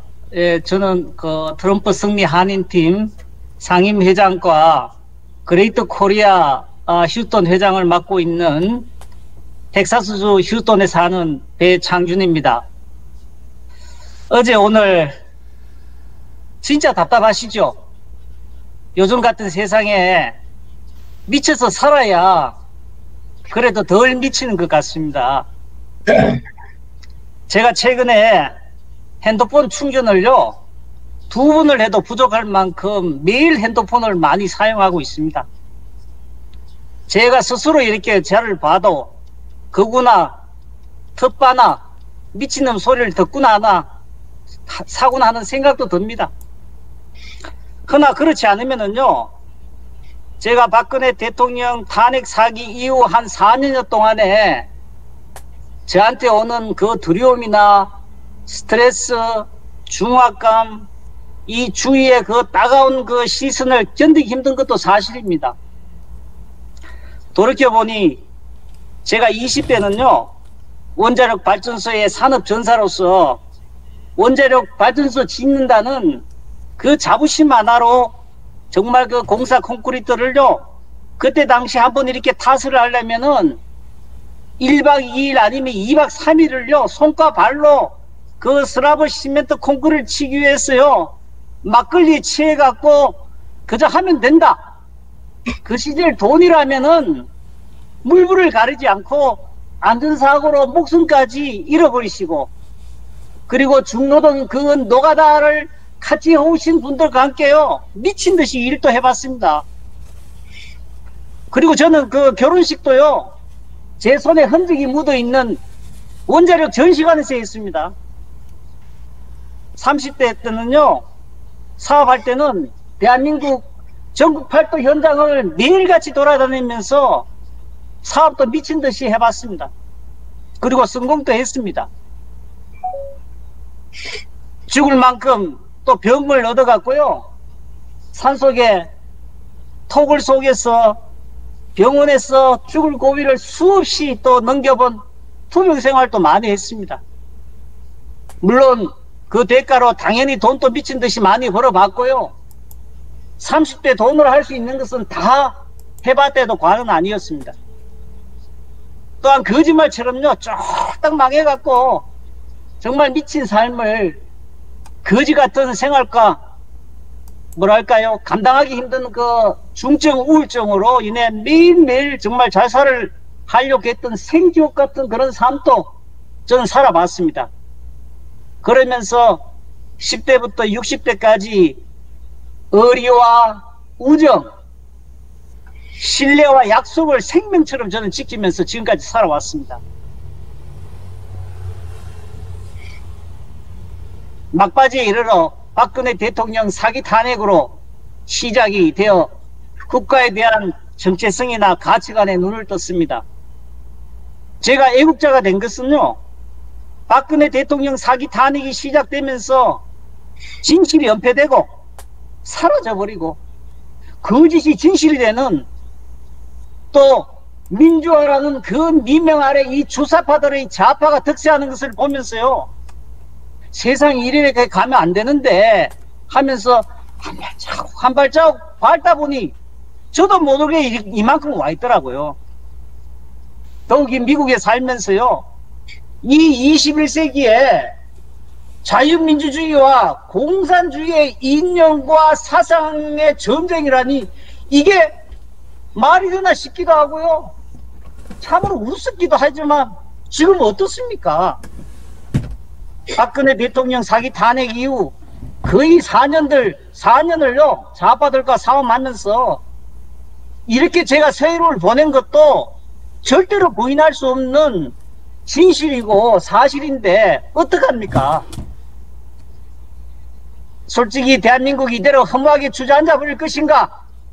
아니면은 21세기 이 위대한 선진국으로 번영할 것인가의 선택은 오직 국민에게 기댈 수밖에 없는 그런 외통수에 걸려 있다면 일반 국민 여러분들 믿겠습니까? 주사파 종북주의자들은 지금까지 방송과 언론, 문화, 예술, 여론기관과 홍위병들을 총동원해갖고 대다수 국민들의 귀와 눈을 멀게 만드고 조작, 왜곡, 날조, 편향된 뉴스와 선전선동술로 내가 속는 줄도 모르고 아니 속고 있다는 그 자체도 모르고 지금까지 사셨다 하면은 이해하시겠습니까? 이미 청와대를 비롯한 권력기관들은 점점 집단체제의 광주로 변질되고 국가의 정체성, 가치관, 사회와 개인의 질서, 도덕, 양심 이 모든 것을 삼켜버린 조국이란 놈, 윤명이란 년, 수민회 같은 이런 구제불능의 괴물로 변한 것을 우리는 지금 경험하고 있지 않습니까? 지금의 대한민국은 71년 전 6.25 전쟁 이후 주택의 개념이 없어지고 사회주의 국가로 혼란과 혼돈의 인연정전으로 지금 돌아가고 만들었습니다. 우나 자나 지금은 죽느냐 사느냐의 그 절대적 선거에 지금 다들 죽기로 미친 듯이 지금 사할 수밖에 없는 지경까지 왔습니다. 그럼에도 불구하고 대다수 일반 국민들은 그 달콤한 포퓰리즘에 사는 게 바쁘다는 그 인생사에 평등과 공정, 평화라는 허울 좋은 선동과 위장소에 마취되어 무엇이 그런지 옳은지 분간하기 힘든 상황의 시대 속에서 전대 미문의 이 팬데믹으로 인해 갖고 막연하게 공포와 불안 속에 충격 속에 살아가면서 북한처럼 누군가가 누군가를 고발하는 시대가 되어버렸습니다. 나만 잘 살면 된다는 극기회 죽인 기득권 천의 방관과 이대로 수수 방관한다면 은 이미 진영 논리에 세뇌되어 버린 젊은 30대, 40대 주체 사상을 이수받은 50대, 60대 주사파의 혁명 완성의 지, 그 기세는 정말 파죽 지세로 자유민주주의를 무너뜨리기에 불보듯 자명합니다. 이 와중에도요, 바이든 취임을 축하하는 일부 보수자들은요, 봐라, 내 말이 맞지? 하며 지금 내심에 미소를 짓고 큰 소리 치겠지요. 목적만 이루어지면은 수단과 방법을 가리지 않는 공산주의처럼 아니면은 약육강식의 권력과 힘만 있으면은 정글의 법칙처럼 이 사회를 지배할 수 있다는 것. 진실과 정의에 대한 가치관이 실정된 사회, 짐승처럼 개가, 개같이 살아야 어, 이 시대에 성공할 수 있는 시대가 되어버렸잖아요. 그러나 희망은 언제나 살아 있습니다. 늦었다고 생각할 때가 바로 시작, 새로 시작할 때입니다. 대한민국의 건국 이념은 자유민주주의와 자유시장 정제입니다. 그래서 우리는 단호하게 어느 누구 앞에 서든지 부정부패를 얘기할 수 있어야 되고 자유민주주의 소중함을 우리는 외쳐야 합니다. 또한 자유 우파가 승리하기 위해서는 우리도 이제 큰 프레임을 짜야 합니다. 시대에 낡은, 뒤떨어진 낡은 생각이라고 치부하지 마시고 삼척 동자도 다 아는 단순 논리로 갑시다. 지금은 자유민주주의냐 공산 사회주의냐 구도로 국민의식을 깨어나게 만들어야 합니다. 우리에게 주어진 시간은 짧지만은 지금 바로 내 주위에 있는 분들부터 시작하고 외쳐야 할 것입니다. 하다못해 여러분께서는 한치 멀리 있는 남이나 상대방을 설득시키려 하지 마시고 지금 가까이 있는 부모 형제 자식 며느리들을 먼저 설득시켜야 됩니다. 진정 조국을 살리는 마음을 먹으셨다면 우파 보수는 변해야 합니다.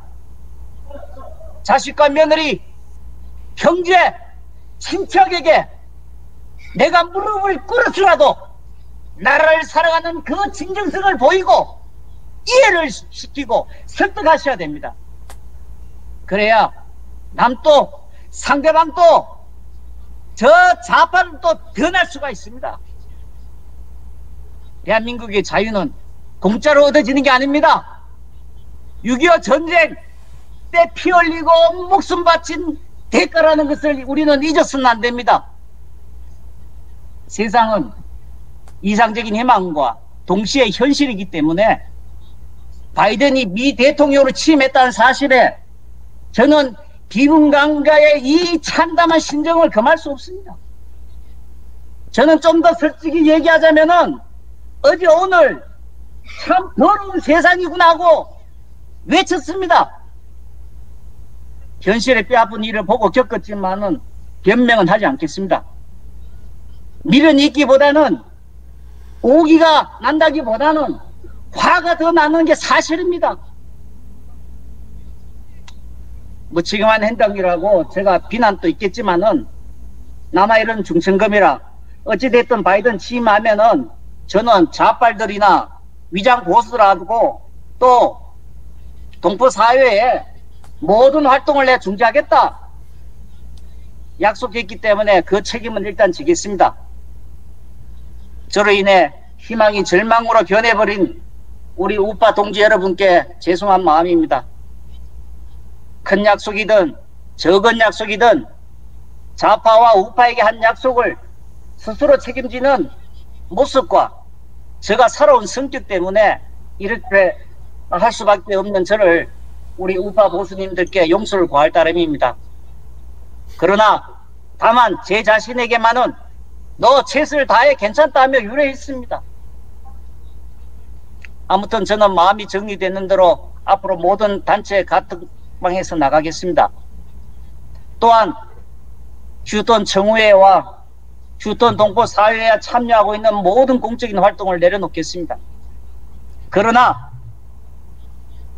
조국과 탈북자를 위해 한 목숨 바치겠다고 여자의 몸으로 미국에서 투쟁을 하고 있는 마영의 동지를 위해서는 대신 내가 나서서 도와줬다고 해갖고 이 못된 인간들이 단체 카톡방에다가 제 가족 사진까지 공개하면서 협박과 온갖 내가 모욕과 수모를 당했지만은요 반드시 내가 개인적으로 꼭 내가 응징하겠습니다. 그리고 좀 민망하지만은요 우리 우파 보수님들께 부탁이 하나 있습니다. 같은 편이 변절자 배신자가 아니라면은 우리 우파 보수끼리 끝까지 좀 지켜주고 감싸주고 의리가 있는 우파 보수님들이 좀 대주셨으면 하는 바람입니다. 인간 인간 세상 흥망성쇠가 변화무쌍하지만은 세용지만은 언제나 옵니다. 제 마음속에는 지금 이 순간에도 박근혜 대통령님과 트럼프 대통령께서는 저의 영웅이시고 진정한 승리자로 영원히 기억될 것입니다. 물론 트럼프 대통령께서 다시 컴백하시면은 당연히 저도 컴백하겠습니다. 그동안 감사했습니다. 고맙습니다. 덕분입니다. 우리 우파 봉수 동지 여러분들의 건강과 무탈하심을 간절히 기원합니다. 감사합니다.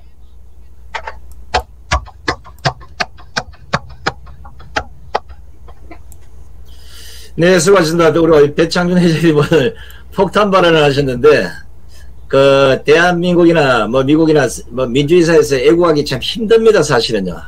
어, 네. 엄청난 고통이 따를 것이라 보고요. 아니라 가족 전체가 탄압을 당하고 있기 때문에 상당히 힘든 시간을 보내고 있습니다만은 그래도 우리들 세대에서만의 탄압으로 끝내야 되겠다는 생각에 목숨 걸고 싸우고 있는 겁니다. 힘내시고요.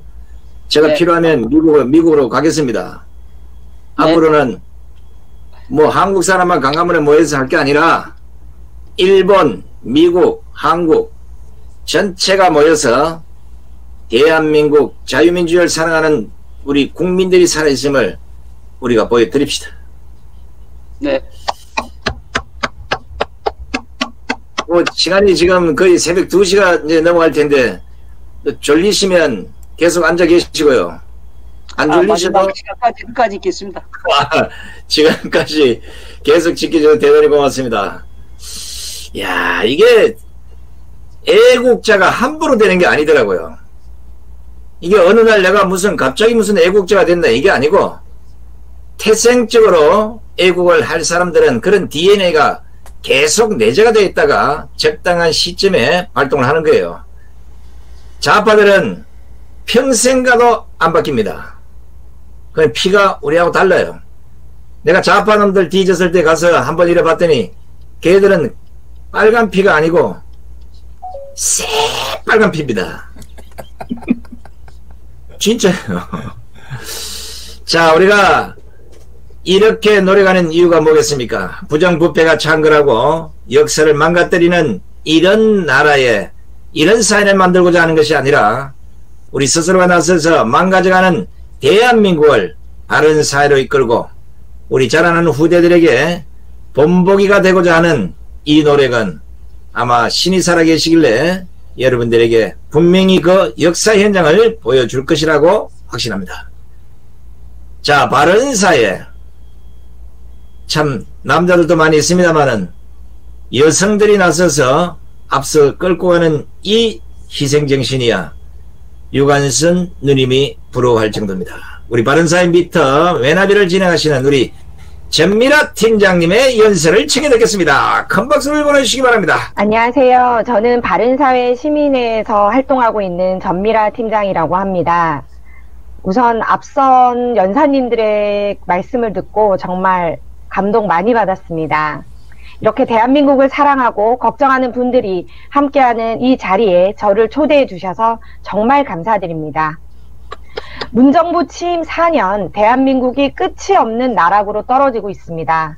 문정부의 끝없는 실책과 뻔뻔함에 코로나라는 치명적인 바이러스까지 국민들은 정말 한 번도 경험하지 못한 대한민국에서 하루하루를 힘들게 버티며 살아가고 있습니다. 상황이 어렵고 힘들 때는 같은 생각을 가진 사람들끼리 시간과 자리를 하는 것이 그나마 위안이 될 텐데 코로나라는 장벽으로 인해서 그것도 현재 불가능한 상황이라 더욱 힘드실 거라 생각합니다. 하지만 하늘이 무너져도 솟아날 구멍이 있다라는 속담처럼 언로가 막힌 우파들에게 유튜브라는 채널이 생겼듯이 시위, 집회가 불가능한 지금 웹이나 즉 화상 기법을 통해서 함께 할 수 있는 공간이 생겼습니다. 5인 이상 모임이 금지된 상황에서 이렇게 많은 분들이 함께 할 수 있는 것도 화상이라는 채널이 있기에 가능한 것 같아 이 자리가 더욱 뜻깊다고 생각됩니다. 2017년 5월 10일 문정부는 통합과 공존을 천명하며 생각이 다른 국민 한 사람 한 사람도 모두 우리 국민으로 섬기겠다고 선언했지만 4년이 지난 2021년 통합과 공존은 어디에도 찾아볼 수 없고 대한민국에는 반목과 갈등만이 남아 있습니다. 집이 있는 사람과 없는 사람, 검찰개혁에 찬성하는 사람과 반대하는 사람, 비정규직과 정규직, 세대 간의 갈등, 임대인과 임차인의 갈등 등 문정부와 거대 여당 민주당은 사안이 생길 때마다 한쪽은 피해자로 또 다른 한쪽은 가해자로 규정하며 갈등을 조장하는 방법으로 우리 사회에 자신들의 프레임을 뿌리내리려 하고 있습니다. 정부 정책을 믿고 기다린 무주택자는 벼락 거지로 정부 정책이 아닌 스스로의 판단을 믿은 이주택자 이상은 투기꾼으로 몰며 어느 누구도 만족할 수 없는 상황을 만들었습니다. 상황이 이런데도 자신들의 정책 실패는 결코 인정하지 않은 채 모든 책임은 항상 국민에게 묻고 있습니다. 취임 초부터 국민들의 삶은 외면한 채 검찰 개혁에만 사활을 걸더니 결국 추와 윤의 갈등은 1년 동안 지속되며 국민들을 바보로 만들었습니다. 거친 사투 속에서도 묵묵하게 열심히 자기 자리에서 하루하루를 살아가는 국민들이 왜 이 같은 상황에 놓여야 하는지 도무지 모르겠습니다. 모든 실정은 코로나로 가린 채 K 방역만을 자신하더니 결국 백신 확보도 실패했고 하루에 천명이 넘는 확진자가 속출해도 끝까지 자신들의 잘못은 인정하지 않고 있습니다. 문제를 알아야 해답이 보일 텐데 앞으로 남은 임기 동안의 변화도 기대는 할 수 없는 상황입니다. 정부를 견제할 국회마저도 더불어민주당이 180석을 차지하고 있어 그들의 폭주는 막을 수 없습니다. 이런 상황에서 이를 제지할 수 있는 유일한 방법이 바로 국민의 목소리, 여론입니다. 대한민국을 지키고 사랑하는 국민만이 끝이 보이지 않는 이 암흑 같은 시기에 유일한 힘이 될 수 있습니다. 하지만 생각을 공유하고 목소리를 함께 낼 수 있는 길이 없는 지금 소통의 장 마련이 무엇보다 시급합니다. 디지털의 도움이 절실한 이유가 바로 여기에 있습니다. 정보화를 넘어 4차 산업 시대를 앞두고 있는 지금 통제된 환경을 문제 삼지만 말고 적극적인 태도로 우리의 힘을 키워야만 대한민국의 자유를 지킬 수 있습니다. 바른사회 시민회의는 2002년 3월 창립부터 자유민주주의와 자유시장 경제의 가치를 지키기 위해 끊임없이 노력해 왔습니다. 수많은 토론회, 심포지엄을 개최했고 시위 및 집회, 캠페인 활동 등을 통해서 우리의 주장을 전달해 왔습니다. 하지만 코로나 사태로 인해서 올바른 목소리를 국민들에게 전달하기 어려웠던 바른사회 시민회의에서는 지난 2020년 5월부터 Google Meet 프로그램을 이용한 바른사회 Meet 콘서트라는 화상 토론회를 시작하게 되었습니다. 광화문에 모여 대한민국의 미래를 걱정하는 애국자들이 마치 코로나의 바이러스의 온상인 양 비난하고 통제하는 문정부의 선택적 정치 방역, 이중잣대를 피해서 궁여지책으로 시작한 화상 토론회였지만 약 8개월이 지난 지금 35번째가 진행되며 알차고 좋은 내용으로 구성된 질 높은 컨텐츠가 되었습니다. 매주 수요일 9시에, 저녁 9시에 진행되는 Meet 콘서트는 논란이 있는 이슈들 중에서 주제를 선정하여 발제자 한 명의 발표와 참가자 전원이 토론할 수 있는 방식으로 진행되며 유튜브 바른사회 TV에서 그 영상 자료를 다시 볼 수 있습니다. 우리 우파도 이제 공부를 해야 합니다. 공부를 해서 알아야 저들을 막을 수 있습니다. 무엇이 문제인지 알아야 우리의 목소리와 우리의 가치도 전달할 수 있습니다. 그래서 그들이 막으면 막을수록 어떤 방법을 통해서라도 우리는 우리의 목소리를 내고 자유대한민국을 지키기 위해 노력해야 합니다. 미국, 유럽 등지에서 백신 접종이 시작되었다고 하지만 코로나 사태의 끝이 보이지 않습니다. 이런 상황에서 우리의 목소리를 낼 수 있는 다양한 방법을 찾고 시도해야 합니다. 이제 곧 4월이면 서울 부산시장 보궐선거가 진행될 것이고 내년에는 대통령 선거와 지방자치 선거가 앞두고 있습니다. 이런 중요한 시기에 국민들의 목소리를 낼 수 있는 우리 우파들의 목, 목소리를 낼 수 있는 소통의 장으로 화상 채널을 적극적으로 활용해야 합니다. 장소의 제약 없이 뜻을, 뜻을 같이 하는 모든 분들이 함께 할 수 있다면 이 지긋지긋한 문정부의 그늘에서 벗어나 정권 교체를 이루고 자유 대한민국을 다시 세울 수 있는 날이 올 것이라고 확신합니다. 유튜브, 화상 집회, 화상 토론회. 익숙치 않은 분들에게는 어렵게만 느껴지실 수 있습니다. 저도 역시 사용하기 전에는 저와 상관없는 프로그램이라고만 생각했습니다. 하지만 한 번 시작하는 것이 어렵지 두 번, 세 번이 되면 누구나 할 수 있는 쉬운 방법들입니다. 또 이 모든 것들이 무료이기 때문에 원하기만 한다면 다 하실 수 있는 것들입니다. 어떻게 세우고 어떻게 지킨 대한민국입니까? 저들에 의해서 이렇게 무너져 가는 것을 보고만 있, 있을 수 있겠습니까? 시대에 맞는 방법으로 우리를 지키고 우리의 목소리를 낼 수 있도록 많은 분들이 동참해 주시길 간절히 호소드립니다. 저의 부족한 말씀 끝까지 들어주셔서 정말 감사드립니다. 네, 전미라 팀장님 수고하셨습니다. 아유, 오늘 제가 칭찬을 잘했네요. 미용실에 가서 아주 비싼 그 머리 손질하고 왔다고 했는데 연설도 똑부러집니다. 자, 수고하신 우리 진명아 팀장님께 다시 한번 큰 박수를 보내주시기 바랍니다. 그러면 이분은 저하고 아스팔트에서 제가 여러 번 연설 소개를 했던 분이고 또 그 외치는 목소리가 아, 하게 한번 씻겠으면 참 좋겠다는 생각 때문에 제 자의적으로 한 것임을 스스로 자수합니다. 자, 우파는 이렇게 자수를 잘하는데 요 좌파 빨갱이들은 절대 자수를 안 합니다. 제가 어떤 좌파들이 저보고 동물에 갔더니 이래요. 아니 선배는 왜 그 문재인 보고 문재인 대통령이 됐든지 뭐 문재인 뭐든지 왜 존칭을 안 씁니까 이러더라고. 제가 할 말이 없어서 나는 문재인을 사람으로 생각 안 한다. 아무 말도 안 하더라고요. 우리가 인간 미워하면 정오가 생기는데 동물을 미워하면 그냥 안 보면 그만이에요. 좌파 정권, 김대중 정권, 노무현 정권, 그 당시 좌파 정권보다는 지금 이 주사파 정권은 흉악무도한 이런 좌파 정권이에요. 이거는 좌파 정권도 아니고 무슨 뭐 이상한 이 변종이에요. 그래서 지난 4년 전부터 문재인 정 절대 오래가서는 안 된다고 외쳤던 아마 이 애국 국민들 전부 똑같은 심정일 텐데 이제서 우리들의 외침에 많은 촛불 세력들과 자영업자 소상공인들이 거기에 화답을 하고 있습니다. 우리가 강화문에 모여서 목소리를 외칠 때 다 손가락질했던 사람들이 이제 저희들이 목구멍에 포도청이 되니 길바닥으로 나오기 시작했습니다.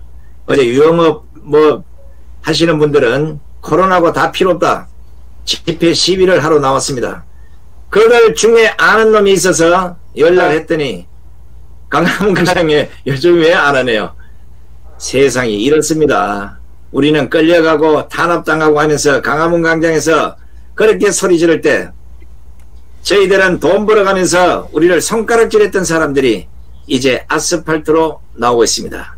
우리들의 외침은 작았지만 4년간 국민들에게 외쳤던 그 소리가 나비 효과로 인해서 조만간 폭풍으로 다가올 것입니다. 그 폭풍의 중심에 섰던 한국인 여성보다는 더 대한민국을 사랑하고 문재인을 가장 싫어하는 일본 출신의 한 여성. 제가 사실 감동을 많이 받았어요. 왜냐하면 아무리 뭐 일본 분이라 하더라도 대중연설 현장에 서서 문재인을 그렇게 앙칼지게 비판하는 분도 한국에도 별로 없거든요. 오늘 여, 여기 출연하신 분들 이외에는 대충 몸도 사리는데 우리 와타나베 미카 교수님은 아닙니다. 지금 연설을 들어보시면 아마 깜짝 놀랄 겁니다.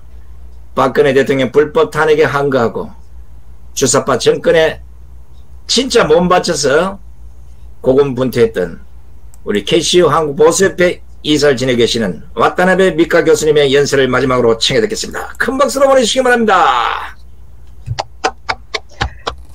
네. 애국 국민 여러분, 진심으로 존경하고 사랑합니다. 저는 KCU 한국보수연합 대외이사와 한미동맹 강화 금융운동본부에서 어, 대외협력 극장을 맡고 있는 와타나베 미카라고 합니다. 아, 오늘은 대한민국 제2의 독립과 한미일 공조라는 주제로 말씀드리겠습니다. 일본 사람이 왜 나서서 대한민국의 애국운동에 이렇게 열심히 하는가 궁금해 하실 것 같아서 어, 저와 한국과의 특별한 그 인연에 대해서 잠깐 네, 말씀 드리고자 합니다. 어, 저는 일본 도쿄에서 태어나 28년을 일본에서 살고 또 한국에서 31년째 살고 있습니다. 아, 중학교, 고등학교를 미션 스쿨에 다니면서 이웃나라 한국이 얼마나 신앙의 뿌리가 깊은 나라인지 알게 되었습니다. 아, 어느 날 한국 목사님이 오셔서 일제시대 신사 참배에 굴복하지 않았던 순교자들의 치열한 신앙에 대해서 배우게 되었습니다. 동시에 일본이 과거에 험한 죄에 대해서 진심으로 깊이 반성하게 되었습니다. 네, 그후 1987년도에 안전보장 관련 세미나에 참석하기 위하여 처음으로 한국을 방문하게 되었는데 현장 시찰로 문점에 갔었습니다. 어, 그때 38선을 최전선에서 지키는 군인의 모습이 저에게 큰 감동을 주었습니다. 그동안 일본이 평화를 유지하고 경제 발전을 일러낼 수 있었던 것도 공산 정권과 맞서 싸우게 싸우는 자유세계 정선을 지키고 있는 젊은 군인들의 희생과 봉사와 흘린 피 덕분이었다는 것을 느끼고 한없는 감사와 미안한 마음을 가지게 되었습니다. 동시에 남북이 분단된 책임이 일본에 또 있다는 것을 느끼고 20대 젊은 시절부터 한반도의 자유 통일을 위해 어떤 형태이든지 공헌하고 싶다는 강한 희망을 가지고 살아왔습니다. 한민족의 고난의 역사는 반도라는 그 지정학적인 그 위치에 그 기인하는 곳이기도 하지만 이스라엘 민족처럼 그 특별한 그 민족이기 때문에 그 특별성 때문에 세계를 대표해서 자유와 건산, 선과 악의 제1선에 설 수밖에 없는 그런 순면적인 길이 있었던 것 같습니다. 그러한 가운데서도 세계 유례를 볼 수 없는 놀라운 견제 선장과 한강의 기적을 이루어낸 자랑스러운 대한민국입니다. 지난 4년 동안 한반도 공상화와 공상화의 위협으로부터 자유 대한민국을 지키고자 일어나신 애국자분들과 함께 할 수 있었던 것을 진심으로 영광으로 생각하고 있습니다. 최근에 미국 백악관이 정격 공개한 NA 기밀 문서에 의하면 인도 대표연 전략의 전략은 처음부터 북을 겨냥한 것이었습니다. 중국이 미국과 동맹국들의 와 노리고 인건치는 유전자 공학, 디지털 감시 시스템 등을 통해 상대국들의 주권을 약화시키려고 하는 것에 표현하기 위한 전략이었습니다. 난조 세계 제 기지를 보유하고 있는 한국에게 그 선본대 효과를 기대하고 한일 간의 긴밀한 협력 관계를 기대했으나 문 정권이 반복되는 약속 불이행으로 전략을 대복 수정할 수밖에 없었다고 합니다. 네. 즉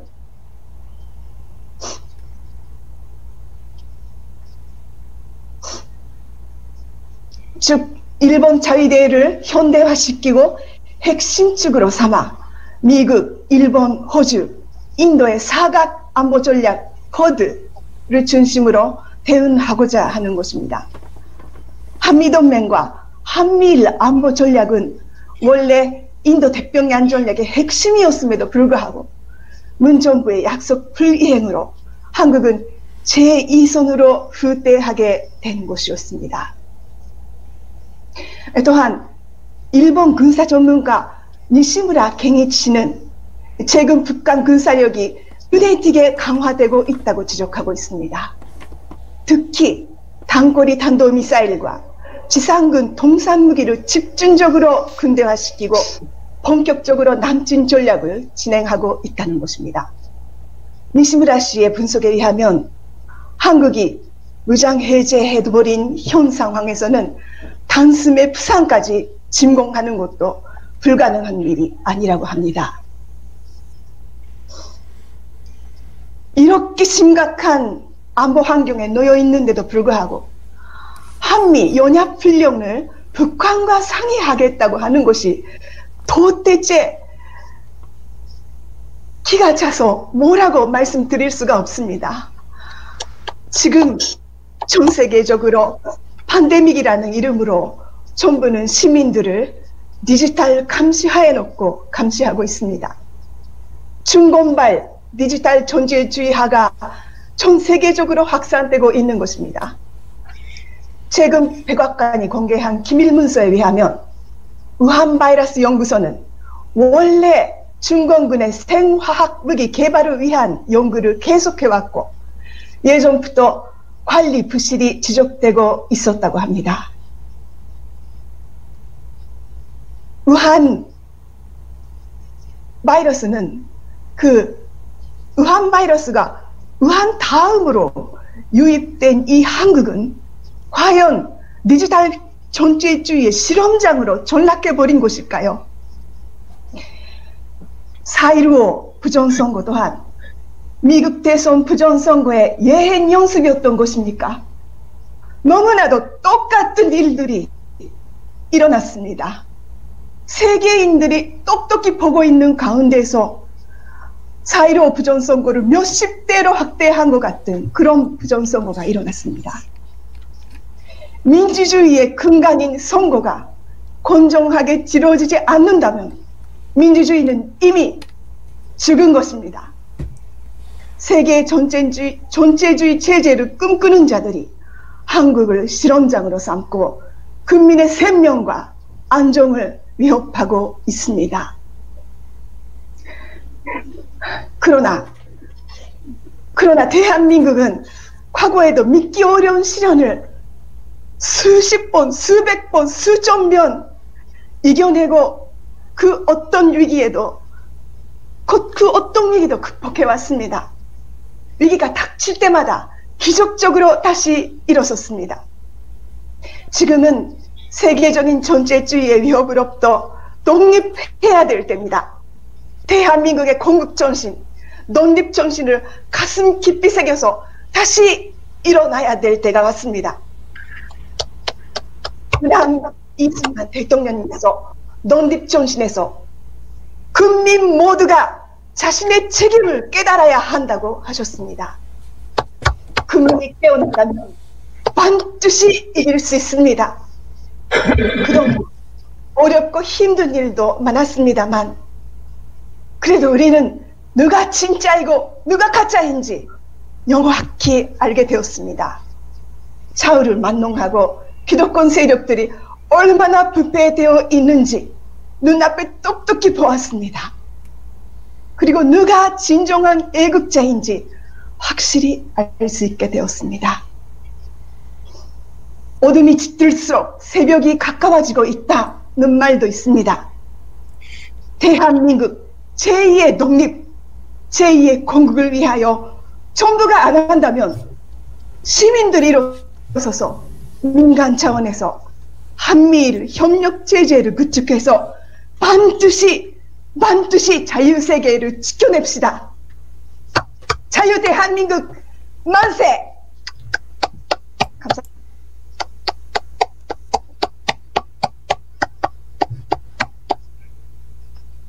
수고하셨습니다. 아유, 우리 왔다르미 교 교수님, 눈물을 걸썽걸썽하면서 오히려 조국인 일본보다는 자유 대한민국을 더 아파하는 것 같아서 헌법이 보장한 표현의 자유와 집회 결사의 자유와 예배의 자유가 없는 그 나라는 사회주의를 넘어서 새빨간 공산 국가임은 분명합니다.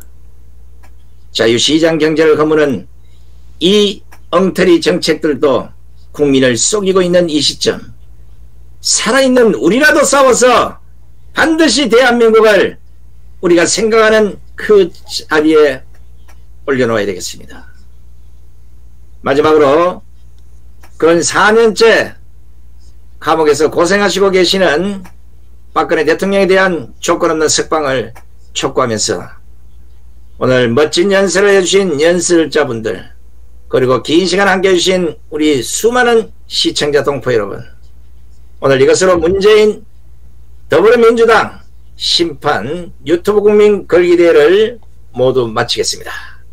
저희는 이후에 더 멋진 프로그램으로 다음 대에서 여러분 다시 찾아뵙겠습니다. 안녕히 계십시오.